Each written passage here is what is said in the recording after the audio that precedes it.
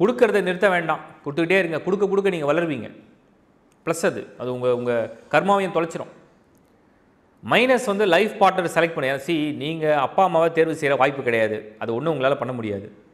சகோதரனை தேர்வு செய்கிற வாய்ப்பு உங்களுக்கு கிடையாது. நண்பர்களை வேணால் நீங்கள் தேர்வு செஞ்சுக்கலாம். மனைவியோ இல்லை கணவன் பெண்ணாக இருந்தீங்கன்னா கணவனை தேர்வு செய்து உங்கள் வாய்ப்பு இருக்குது அதில் தான் நீங்கள் கேர்ஃபுல்லாக இருக்கணும். நண்பர்கள் பரவாயில்ல. எப்படியும் உங்களுக்கு ஆதாயம் வந்து டூ பர்சன்ட் தான். அட்லீஸ்ட் பேச பழக நட்பு பாராட்ட நண்பர்கள் இருப்பாங்க. கொடுப்பது இயற்கையாக உங்கள் குணமாக இருக்கிறதால நிறைய நண்பர்களை கூட்டமாக நீங்கள் வச்சுக்கலாம். கோபம் ஒரு மிகப்பெரிய என்ன சொல்லுவாங்க உறவுகள்லாம் எல்லாம் முறிஞ்சிரும். கோபத்திலே எல்லாம் உறவும் காலி. அது அம்மாவாக இருக்கலாம் சித்தி சித்தியாக இருக்கலாம் அத்தையாக இருக்கலாம் சகோதரியாக இருக்கலாம் உடன் பிறந்தவர்களாக இருக்கலாம். இன்லாஸ் உங்களுடைய மனைவி அல்லது கணவன் மூலியமாக வரக்கூடிய உறவுகளாக இருக்கலாம். கணவன் மனைவி உறவு எல்லாமே கோபம் தான் உங்களுடைய உங்களுடைய கோபம் என்னென்னா நான் சொல்கிறேன் உங்கள் சைடில் பார்த்தா ரொம்ப நியாயமான கோபமாக தெரியும்.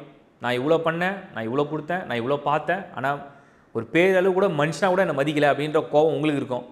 அவங்க பார்வையில் நீங்கள் எவ்வளோ கொடுத்தாலும் எவ்வளோ செஞ்சாலும் இதென்ன பெரிய விஷயமா? ஊர் உலகத்தை எல்லாம் தான் செய்கிறாங்க இது ஒரு பெரிய விஷயமான்ற மாதிரி ஒரு ஈஸி கோயிங் உங்களோட ஆப்சன்ஸ் மட்டும்தான் உங்களோட வேல்யூவே ஒரு இடத்துல நிரூபிக்கும். நீங்கள் எப்போ ஆப்சன்ஸ் ஆகுறீங்களோ நீங்கள் எப்போ இல்லையோ அப்போ உங்கள் வேல்யூ வந்து அவங்களுக்கு தெரிகிற மாதிரி ஒரு நட்சத்திரம் இது. இதை புரிஞ்சுங்க. அப்புறம் இன்னொன்று சொல்லிடுறேன். உங் நீங்கள் தான் உங்களுக்கு வாழ்க்கை உங்கள் கண்ணாடியை பாருங்கள் டெய்லி கண்ணாடி பாருங்கள் கண்ணாடியை பார்த்து சொல்லுங்கள் நீயே உனக்கு உதவி. நீயே உனக்கு அன்பு. நீயே உனக்கு பாசம். நீயே உனக்கு நேசம். நீயே உனக்கு கருணை. நீயே உனக்கு எல்லாம். அப்படின்னு கண்ணாடியை பார்த்து டெய்லி சொல்லிக்குங்க.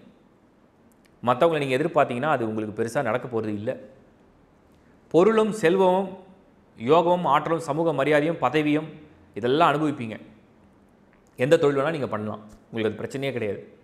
எனி ப்ரொஃபஷன் திருவாதிரைக்கு வந்து எனி ப்ரொஃபஷன் மேட்சிங் ஏன்னா எல்லாமே அறிவை சார்ந்தது. அறிவை சார்ந்த எல்லா விஷயமும் உங்களுக்கு சக்ஸஸ் அதெல்லாமே உங்களுக்கு ரொம்ப கைவந்த கலை. பணம் சம்பாதிக்கலாம் கைவந்த கலை. வேகம் அதிகம்.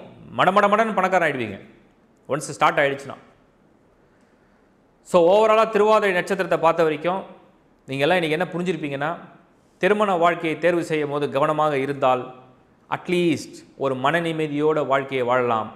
ஆன்மீகம் மத சேவை பக்தி மக்கள் சேவை பிராணிகளுக்கோ ஜீவராசிகளுக்கு அர்ப்பணித்து வாழ்க்கையை உருக்கி உங்களை உங்களை நீங்கள் உருகி பிறருக்காக தீபம் காட்டக்கூடிய மெழுகுவர்த்தியாக தான் வாழ்வீர்கள் என்பதுதான் திருவாதிரையுடைய பலன்.